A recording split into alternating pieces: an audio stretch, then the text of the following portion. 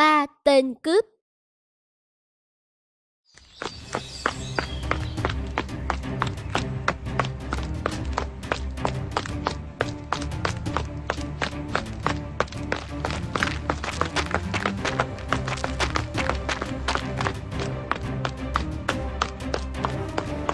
Kia rồi, sắp tóm được nó rồi, nhanh lên nào.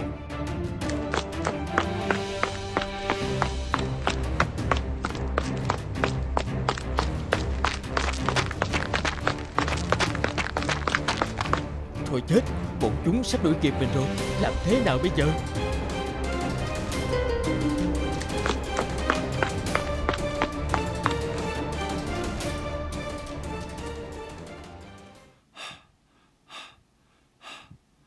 Liệu chúng có nhìn thấy cái hang này và phát hiện ra mình không nhỉ?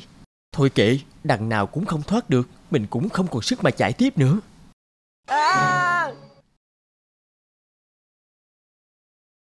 Đau quá, con nhện khốn kiếp này, mày dám cắn tao à?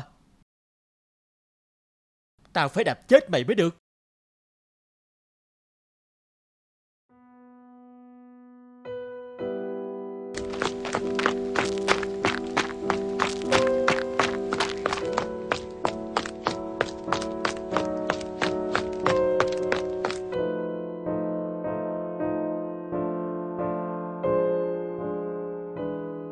Xem ra thì số phận của nó với mình cũng giống nhau Cũng bị dồn đến bước đường cùng rồi.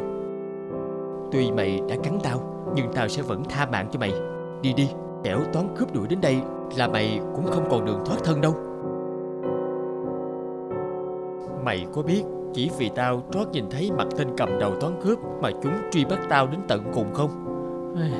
Chắc số tao nó tận thế rồi. Giá như mày là một con người thì tao có thể nhờ mày tìm về gia đình tao để báo tin. Chỉ một lát nữa thôi là bọn chúng đuổi đến đây rồi. Hê, sao bây giờ lại không thấy dấu vết của tên đó? Rõ ràng chúng ta thấy hắn chạy về phía này mà. Chắc chắn là hắn đang trốn ở đâu Chứ không thể chạy nhanh thế được. Mau chia nhau ra tìm. Vâng. Thôi chết. Bọn chúng đã đến đây rồi. Mình tiêu đời rồi.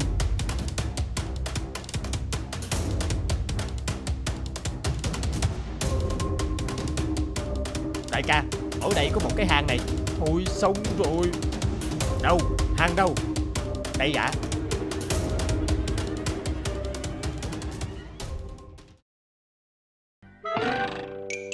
Hơ, Cái hang này mạng nhện đã chặn kín. Chứng tỏ đã lâu rồi Không có người ra vào. Chắc chắn hắn không có trong đấy đâu.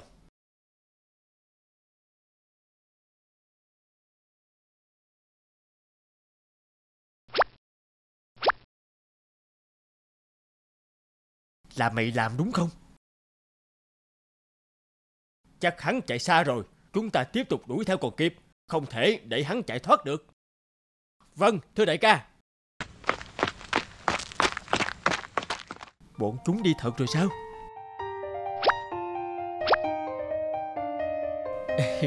Cảm ơn mày nhé. Mày đã cứu tao một mạng rồi. Tao đã không sai khi không hại chết mày. Trong cuộc sống, Đôi khi giúp đỡ người khác Cũng đồng thời là giúp đỡ chính bản thân mình. Vì vậy, hãy giúp đỡ người khác Bất cứ lúc nào có thể. Nỗi oan của cậu học trò.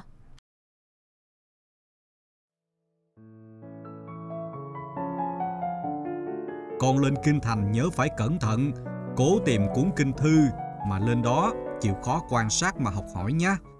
Cổ nhân nói rồi, đi một ngày đàn, học một sàn khôn con ạ. Dạ vâng, con hiểu rồi ạ. Chào thầy con đi.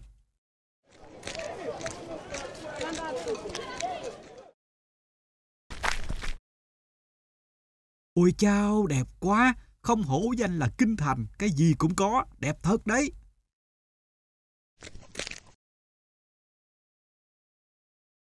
Chà chà, ngọc đẹp thế này, chắc đắt lắm đây. Cậu quả là có con mắt tinh đời, cậu định mua để tặng người trong mộng hả?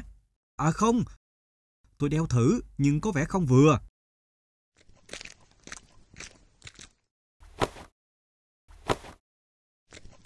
Mời quý khách vào, quý khách muốn ở trọ, phòng như thế nào ạ? Tôi, tôi chỉ có đủ tiền để ở ghép phòng thôi. Ai, thật là... Cậu là cậu học trò. Thôi được, tối nay cậu có thể ở chung phòng với tôi. Không cần trả tiền đâu. ô đa tạ ông. Thế thì còn gì bằng nữa ạ? À?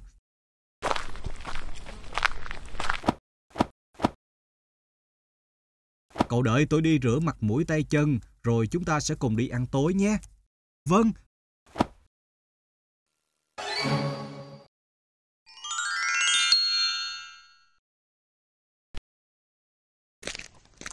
Cậu làm gì thế? Tôi thấy nó vì miệng tay nải bị tuột ra. Chiếc vòng quả là đẹp. Thôi chết, túi tiền của tôi đâu rồi?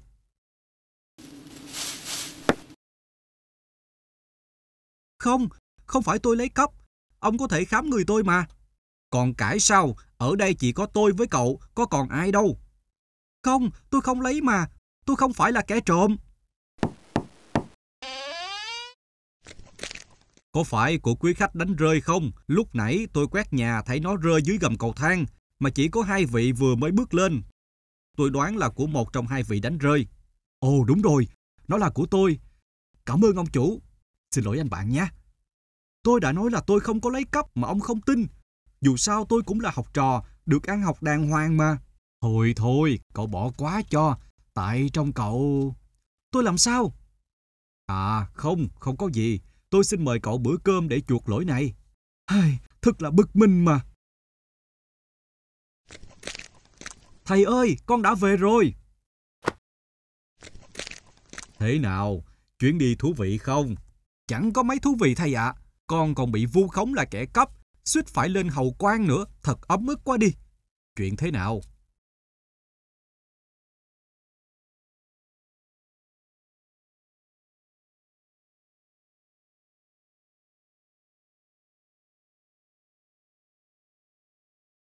Ai, thế còn ấm bức gì nữa?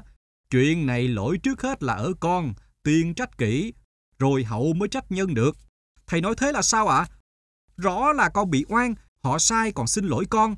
Sao thầy không thấy làm thương bên vực con mà lại còn trách cứ con ạ? À? Con là người được ăn học, ra ngoài hành xử phải đàng hoàng, đỉnh đạt. Phàm là đồ vật hay chuyện của người khác thì không nên hiếu kỳ. Tư cách con người được thể hiện qua những hoạt động thường ngày của họ. Còn tuy không trộm cắp, nhưng hành động khuất tất, người ta nghi ngờ là phải. Con nên tự mình soi lại và chỉnh đốn lại bản thân đi nếu không sẽ còn hàm oan nhiều đấy. Dạ, thầy nói con hiểu rồi, con xin nghe lời thầy. Chuyện của cải béo và chú chim sâu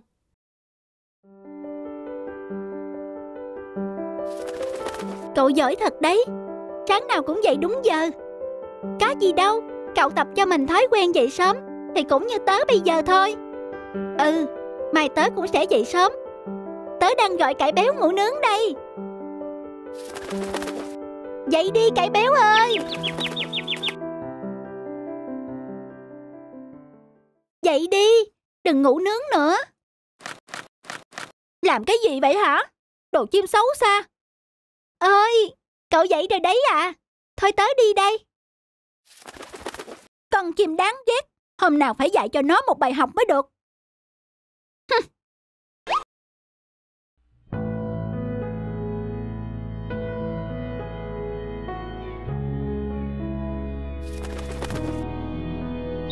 Vậy thôi mọi người ơi, Sáng rồi. Vậy thôi cải béo ơi, Sáng rồi. Tên chim sâu kia. Còn muốn làm phiền ta nữa không? Cứu Cứu tớ với. Kìa, Kéo chim sâu lên cải béo.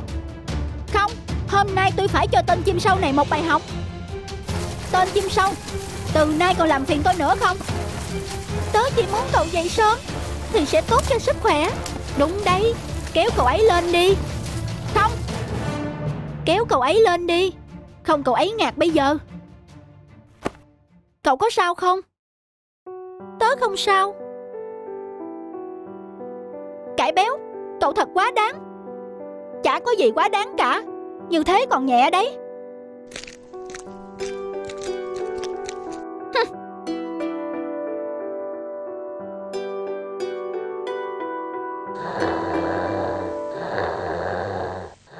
Này cải béo, Dậy đi chứ. Gần trưa rồi đấy. Gần trưa rồi cơ à. Đúng là không có con chim ấy. Ngủ nướng thoải mái làm sao? Anh ngủ nướng thế không tốt đâu. Lá của anh sắp vàng ra rồi đấy. Dậy sớm mà đón bình minh chúng ta mới khỏe mạnh được. Ôi dào, Tôi chẳng hơi đâu mà lo xa như thế. Dạo này không thấy con chim sâu đâu nữa. Cơ hội của chúng ta tới rồi. Chén thôi anh em. Cút ra, Tránh ra. Chim sâu ơi Cậu đâu rồi? Đến cứu bọn tớ với. Mày có im ngay không hả? Chim sâu ơi Chim sâu Cứu chúng tớ với.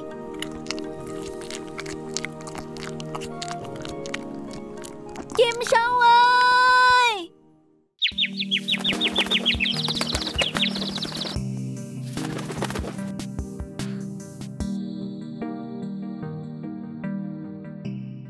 Tớ xin lỗi chim sâu.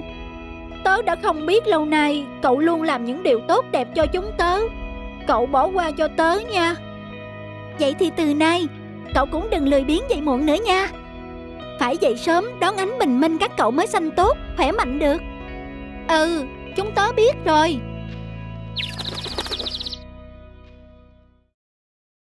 Đôi sừng của thỏ Tớ mới tìm được một chỗ có nhiều thứ quả lắm. Bữa nào tớ đưa cậu qua đó nhé. Vậy hả? Thích quá. Khẽ thôi. Cái này chỉ tớ với cậu biết thôi. Cậu reo lên thế thì ai cũng biết mất. Tớ nghe thấy rồi. Cậu cho tớ theo với. Nếu không tớ nói cho cả khu rừng này biết cậu ích kỷ thế nào. Nãy giờ cậu nghe lén bọn tớ nói hả? Đồ xấu tính. Kệ cậu ấy. Mình không nói cậu ấy cũng chẳng làm gì được mình đâu. Mình đi tới chỗ bác Linh Dương đi. Hôm nay bác ấy kêu bàn họp gì đó. Đi thôi kẻo muộn. Tức quá Dám bảo mình không làm gì được. Được rồi. Đấy rồi coi. Mình sẽ cho các cậu ấy biết tay. À, Đồ thỏ đế Ta đang vội đi họp rừng Nên tha tội cho mi. Lần sau thì coi chừng. Chờ đấy Ta cốc sợ mi đâu. Bà nay học hành gì thế nhỉ? Mình cũng phải đi họp nghe ngóng tình hình mới được. Ngày xưa Khi giả thú mới xuất hiện Linh dương cao to được xem là thủ lĩnh của muôn loài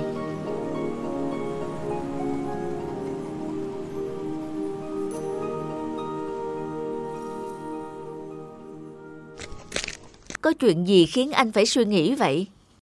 Qua buổi họp vừa rồi mới thấy khu rừng này còn nhiều vấn đề quá. Những kẻ mạnh thường hay ức hiếp kẻ yếu.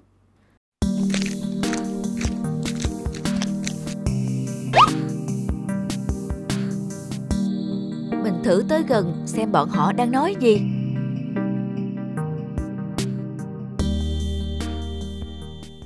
Có một việc thế này, tôi có mấy cặp sừng muốn cho những con thú nhưng thú thì nhiều, biết cho con thú nào bây giờ? Mình có điểm nào kém so với các loại thú khác đâu. Mấy cặp sừng ấy nên chia cho ai, có loại nhỡ, có loại lớn đấy.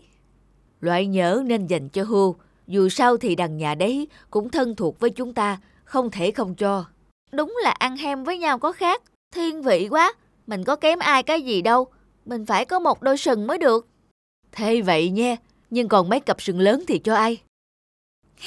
cho tôi, cho tôi. Ừ, chú Thọ, chú ở đâu ra vậy? À, tôi, tôi vô tình đi ngang qua. Mấy cặp sừng ấy cho Thỏ tôi, bác Linh Dương nhé. Thế nào, chú Thỏ? Chú cần những cặp sừng đó để làm gì? Làm sao lại không dùng làm gì? Tôi rất cần có sừng. Tôi muốn khiến cho mọi kẻ thù của tôi phải kinh sợ. Và về sau, tất cả mọi người đều phải sợ tôi. Không được, đôi sừng của ta phải làm việc có ích, hoặc ít ra nó dùng để tự vệ, không phải dùng để dương oai, không phải dùng để uy hiếp người khác, không thể cho chú được. À, à, à, tôi không, không uy hiếp, tôi là cần nó để tự vệ đó chứ. Bác xem, tôi nhỏ bé thế này, suốt ngày bị các con vật to lớn khác bắt nạt. Đấy, mới hôm qua thôi, tôi bị anh hổ đuổi cho chạy bán sống bán chết. Anh ấy đòi giết ăn thịt tôi nữa đó. Tôi yếu ớt thế này, ít ra nếu lúc đó tôi có đôi sừng tự vệ, ắt tôi nghĩ là lão hổ chẳng dám đụng đến tôi đâu, giống như bác đó. Nào có ai dám đe dọa gì bác đâu, vì bác có đôi sừng thật lớn. Cho tôi đi mà bác linh Dương, tôi thật sự thiệt thòi hơn các loài khác. Như cô ngựa vàng thì có đôi chân dài để chạy lúc nguy hiểm. Bác voi thì có thân hình to lớn, khó ai có thể quật ngã. Chỉ diều hâu có cánh để bay, hay đến như chú nhím, nhỏ vậy nhưng có bộ áo gai. Nào ai dám đụng, tôi thì chẳng có gì. Thôi được rồi.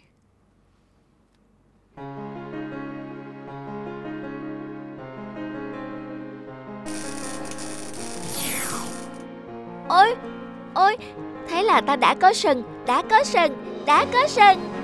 Oh yeah! À, ôi, cái gì đây? Ai cứu tôi với? À, sợ quá, sợ quá.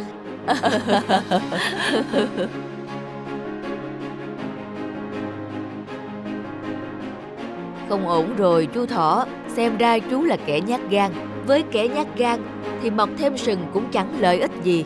Ta cho chú một đôi tay dài để mọi người đều nhận ra là chú thích nghe trộm người khác. Thôi, giờ chú hãy đi đi. Chính vì thế, thỏ không có sừng mà lại có đôi tay dài, dài hơn nhiều loài động vật khác là do cái thói hay nghe lỡm người khác nói chuyện. Đêm trăng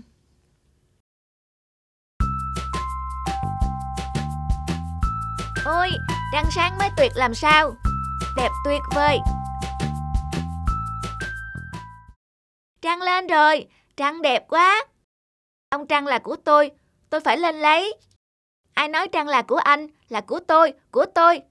Không, Trăng là của chúng tôi. Không nói nhiều, ai lấy được là của người ấy.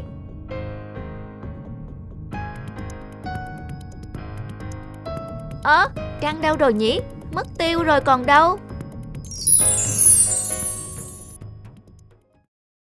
Kìa, Trăng xuống nước rồi. Tại các người đấy, Trăng vỡ rồi.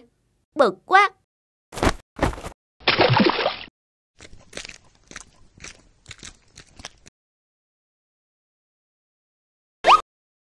Trăng này đích thị của ta.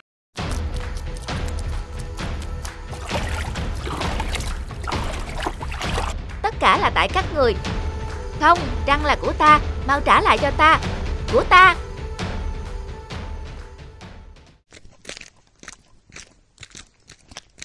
Các cháu, nghe ta nói đây.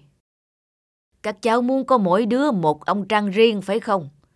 Vâng ạ Vậy thì ta sẽ chia cho từng cháu một nhé.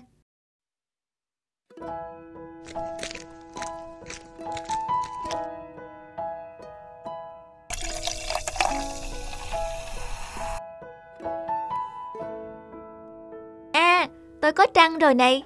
Tôi cũng có. Chúng cháu cảm ơn ông ạ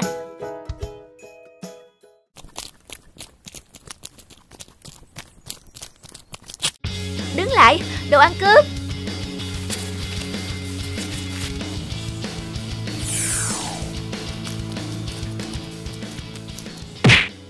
Trăng, trăng của tôi.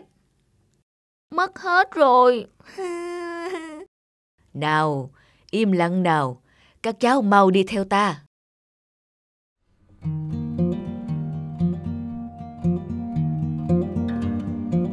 Trăng đây rồi, có hẳn hai ông Trăng liền Ở đây, cháu nào cũng thấy trăng chứ, hẳn hai ông trăng đúng không nào? Dạ vâng ạ, chúng cháu đều thấy hai ông Trăng Thực ra chỉ có một ông trăng trên trời thôi. Ông trăng ấy rọi bóng xuống mặt nước. Từ giờ các cháu hãy đứng đây ngắm trăng thay vì dành nhau ông trăng cho riêng mình nhé. Thì ra là như vậy Các cháu hãy ghi nhớ, trăng đẹp là của chung. Nếu chia nhỏ ra thì sẽ không bao giờ bền cả. Vẻ đẹp của trăng không còn nữa. Thay vào đó, biết chia sẻ, nhường nhịn thì tất cả đều có thể vui vẻ ngắm trăng. Đúng không nào? Cháu biết sai rồi ạ Chúng cháu thật là ích kỷ khi dành ông Trăng cho riêng mình Rồi giờ khi trăng lên, chúng cháu sẽ tập trung ở đây để cùng ngắm và ca múa nữa ạ. À. Ừ, có thế chứ.